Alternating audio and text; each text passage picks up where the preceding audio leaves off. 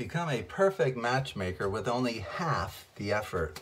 Perform half of an under, down, under, down, under, down, under, down with random stacking.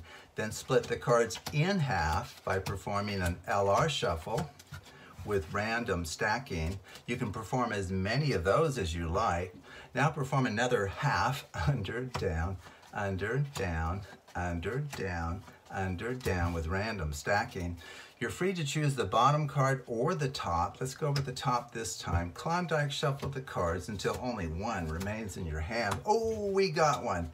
Now perform another half under, down, under, down, under, down with random stacking.